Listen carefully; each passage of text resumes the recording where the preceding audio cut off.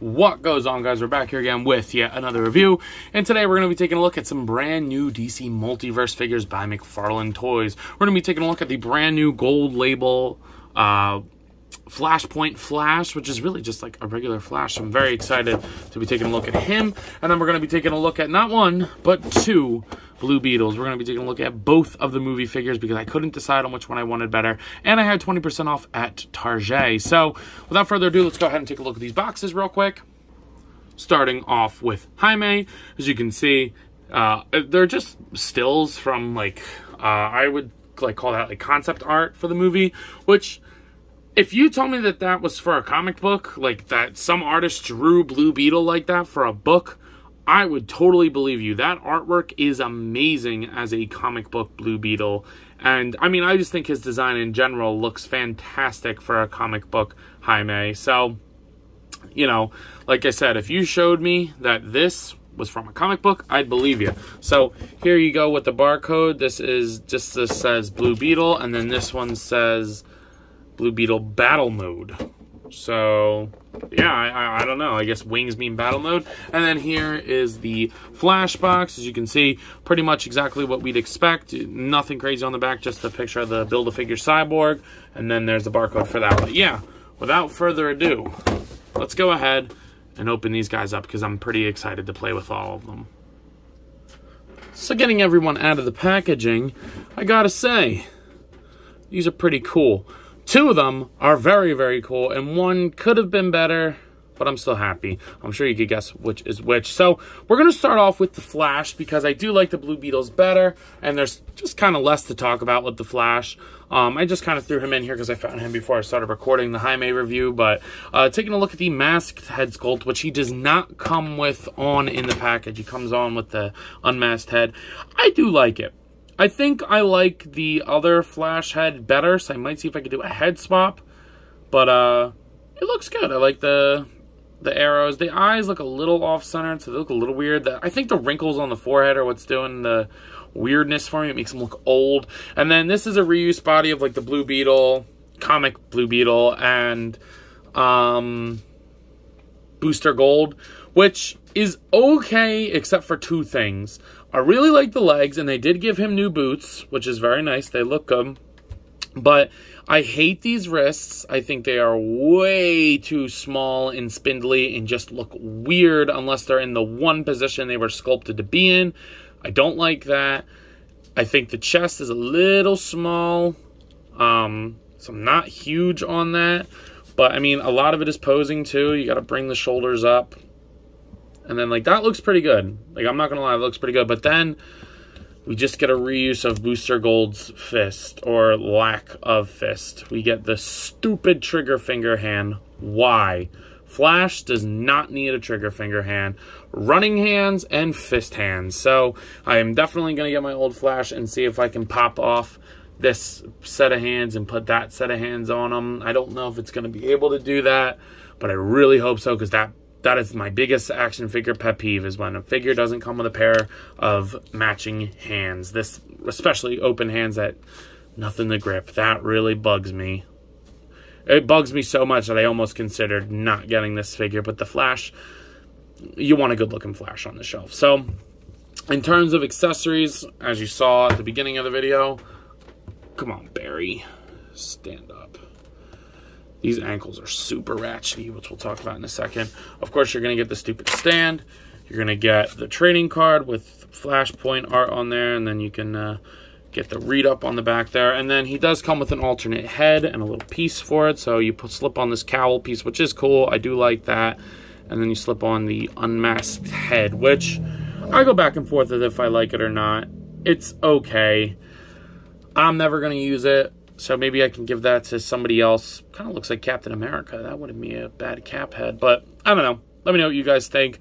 For me, it's the masked head all the way, which oddly enough, it was molded in yellow. Was not expecting that. But taking a look at the articulation, you'd probably expect everything. The head looks up, down, not really, pivot side to side, and rotate. The shoulders go up, down, rotate, and then you get that cap in there that adds a little bit of movement. Pretty good.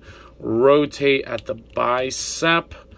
And then these kind of ugly double jointed elbows, and then you get this really spindly wrist that really makes me anxious that it's going to break because it is such a small joint. I hate it. You do get a little bit of crunch forward, a little bit of arc back, pivot side to side, rotate at the top and the bottom. This is pretty good movement. I, I, I do I do like this setup, and plus it's not all detailed out to the teeth like how McFarlane usually does. It's just a plain, simple mold. So even if it's not the best, I'm, I'm happy with that aspect of it. Kick forward, back. You do get a little bit of a thigh rotation in there, which is nice. Double jointed kneesers. No boot rotation. You do get a rotation at the ankle. It'll go down, up, super clicky. Definitely be careful with them. And then great pivot and a little toe joint, which actually is sculpted pretty good. Um, so of course, the question is, can you get them in a good running pose? And if you're me, then probably, because I'm good as hell at it. But um, in all honesty, it's going to be okay. It's really going to be the angle of how you take the photo. Like I usually like to pivot them on that leg and then kind of have them go down. But it's okay. It would look so much better with a full set of fist hands, maybe an open hand. So hopefully those hands are interchangeable because this bugs the nuts off of me. Not a huge fan of that, but um, the rest of the figure's okay. I didn't even mention the emblem is not sculpted, which kind of sucks, but eh, it's okay. I would also like to mention that he comes with the legs for Cyborg. Cyborg is going to be a big boy. He's going to get his own video, but I just wanted to mention that he does come with the legs. One more figure to go. Okay, so now we're going to jump into the Blue Beetle conundrum. Which figure should you get? Should you get the winged version or the non-winged version, the sword version, we'll call it, right? For me, I think there's a definitive answer, and I'm going to tell you why. I think you should go ahead and get the winged one. Now, here's why I think so what you get with the winged one. Well, first off, let's go ahead and just start with a really good look at this sculpt and paint. Now, these, for the most part, are going to be identical except for two things, which I will show. The first one, or like just taking a look at them, he's got that marbly plastic that actually works beautiful here. That here, that metallic blue paint is amazing. You do get some paint on here. There is lighter blue on his chest, and then the sculpted armory parts look so good. They did like a little silver dry brush over them. The legs carry that blue paint as well. They even painted that little bit on the joint back there. Very nice work, McFarlane. The scarab looks fantastic on his back. You do get it on his spine. I just saw the trailer where like they were like, I'm going to throw up. That was pretty funny. So, oh, by the way, I don't know if I mentioned, this is totally good for a comic book shelf. The DC Icons one, I have that figure, but I am looking to sell it if anybody's interested. Um, but because this is just so much better and works better in McFarlane scale and it just is a better figure in my opinion. I know I'm to get a lot of flag shit for that, but I think this is a better figure. Um, he looks great. I love the proportions because he looks like a kid, but he still look he still looks heroic. I love it. I really, really like it. You get a little bit of paint on the eyes too. Very good looking figure. In fact, it may be one of McFarlane's best. I think this is a common consensus at this point because I've heard a lot of people really like this, and I can see why. It is fan freaking tastic. So maybe even top 10 of the year. I don't know. I don't know. I don't want to put myself in that box right now. But um, yeah, let's take a look at the difference. The first thing is obviously going to be the accessories. So starting off with Wing Boy accessories, and I know for a fact that this is the winged one. I did not mix them up. I left the fists on there. So you're going to get a bunch of hands with Wing Boy, which is pretty cool. I feel like I'm missing a hand. I was. All right, so you're going to get a right pointer finger, a right splayed out hand. I love that. Then you're going to get a left thumbs up hand and a left peace sign hand. Now, personally, I think it would have been really nice as if the sword version came with the matching set so we could get like full set of um, thumbs up, full set of splayed, peace signs, all that good stuff. I would have really liked that. Unfortunately, we don't. And he also comes with a pair of fist hands, which I love, and they look super good on him. He does come with the card. Oops. I believe that they're going to be the same. Yeah, so the same um, read up on the back, so don't worry about that. Card, whatever. And then you're going to get the figure stand with both of them. Now, the winged version also, believe it or not, comes with the wings, and they look fantastic. It's like this nice translucent plastic with some frosty paint over it. Looks pretty awesome. So, that's that. Now, our non-winged version, you're just going to get a pair of grip hands. The rest of the figure is exactly the same, except for one thing, which we will get to that. He does come with his own trading card. There you go. Same read-up, all that. You get these little disc things. I don't know what they really are. They're kind of, they remind me of like Nakia's um, wrist blade things, or like, I don't know, like gauntlets, I guess. He can hold them okay. I don't think it's like super cool in my opinion. I think these weapons, even when Nak Nakia uses them pretty well, but I kind of feel like these are like really pointless weapons. I don't know. I don't know what they're called. If you know what they're called, let a brother know. But um, he comes with them. So there you go. If you like those. But then he also comes with the sword that you do see in the trailer. I like the way that they did this. It's like black paint with metallic blue paint over it. Though I do kind of wish it was an interchangeable hand and not uh, like a sword that he actually holds. I don't know if that's accurate or not, to be honest. So maybe I'm talking out of my ass. But I guess it goes this way. But he he doesn't really hold it well. That's why I kind of just wish it was an interchangeable hand. Unless I'm doing it wrong. Maybe he needs to put his finger... I, I don't know. But I got to admit, not the biggest fan of the sword.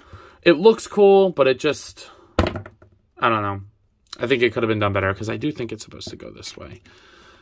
But he does not hold it well. Maybe he holds it well in this hand. Okay. He holds it a little better in this hand, but the wrist is way too loose to hold it. So you're going to have to angle your photo right. So not the biggest fan of that. But what I am a big fan of is the cannon. This is a staple for Jaime Reyes, and this looks great. It's just molded in that metallic blue paint, but you pop off the hand, and then you plug. Or actually, I think it's actually, yeah, it is. It actually plugs into his arm. I don't know where. I think like this. Yes. Oh, my boy Jaime looking good. Oh, shit. This is the first time I'm seeing it with him on, with it on him. Oh, man. That looks great. Now, the only other difference in these two figures is that their scarab is different. So, let's pop on Let's give him a thumbs up hand. Why not? Okay. Give him a nice thumbs up hand. The only difference, which I was surprised, the winged one comes with a backpack or scarab that actually pops off, right? So you can attach the wings like this, loop this on here, loop this on here, and then pop this on his back again. There we go. And then you get a little bit of movement on them, but oh man, that looks super good as well. I love these on there. That is awesome. But this one does not do that. They are different backs, which is very surprising. So you have to really pick your poison. Do you want cannon or wings? Or are you going to be a psychopath like me and get both? Because I do have to see this. Because this arm does pop off. And then pop that. Oh, man. Now that is Jaime Reyes. Oh, I can do the splayed out hand. Hell yeah. Oh, man. that looks great, in my opinion. Holy shit. Maybe.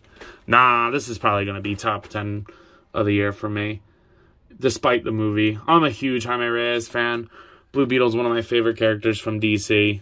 Um, and I absolutely love this. So this looks great. It just really sucks that you got to get two. I kind of just wish that they did like a $30 price point and gave you everything. That would have been really cool. But include like a full set of hands. But I don't know. I think it's it bothers some people more than it bothers me. It doesn't bother me that much because this figure is really nice. So taking a look at articulation with everything going on, the head is going to look up, it'll go down, it'll pivot side to side and rotate.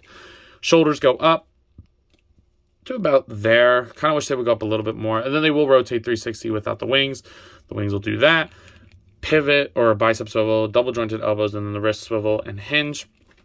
You get a pretty good diaphragm joint on this guy, at least by McFarlane standards. He will crunch a little bit forward, back, pivot side to side is great, and then rotate at the top and the bottom, so no real problem moving around. He'll kick forward, back, no real thigh swivel, double jointed knees, and then the ankles go up, down, swivel, pivot, and a really good toe hinge. So I'm I'm actually I I opened up the wing one when I got them because I couldn't wait because I, I couldn't record immediately and I, I couldn't wait and I just can't get over how fun this figure is to pose around, which is not something I often say for McFarlane figures. Usually I lean more toward the aesthetic for them, but Jaime is one of the perfect examples of a culmination of both, which again is rare by McFarlane standards. In terms of scaling for these guys, they're okay. I do wish Jaime was a little bit smaller, but unfortunately, he's a, he's pretty tall. You do get them next to Silly Kong and Peely. And then here they are next to your Darwin and then Batman, which he's a little bit shorter. I, I, I, do wish he was a tad bit shorter, unfortunately. And then, of course, you get Zombie Cap here in the middle with them. These are 7-inch scale figures, so they're going to be a little bit bigger. But yeah, I do think Jaime is a little tall, even for a movie figure. Like, he's a kid. He should be a little bit shorter, but unfortunately, he's not.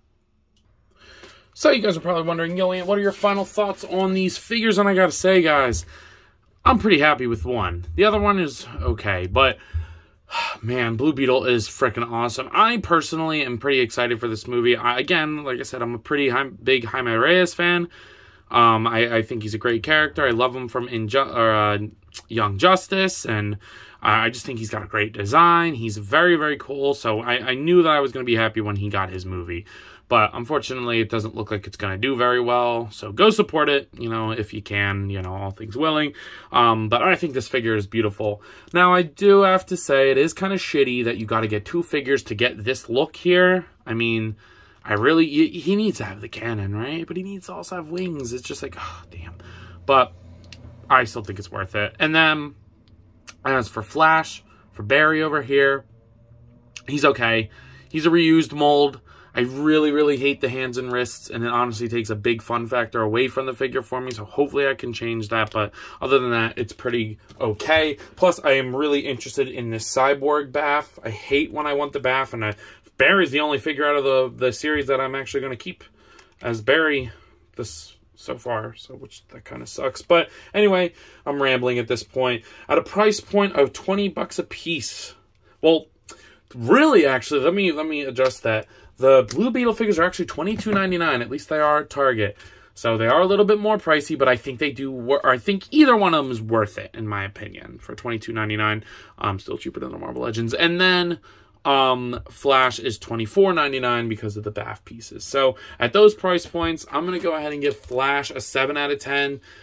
He's okay. He's maybe better than the last one. I don't know. It's really just a basis of what look you like for him better. I happen to like this look better for him. It's just they didn't do it as well. Um, but I'm going to give Blue Beetle a 10 out of 10. Like, either one I think you'll be happy with. I really do. So at those price points, that's I believe that's all I got for today. So if you have not already, please be sure to like, comment, subscribe. Ugh, excuse me. Be sure to follow me on Instagram and TikTok. I post a lot over there, and I have a lot of fun, so I'm sure you all will too. But as always, let me know. You cop him?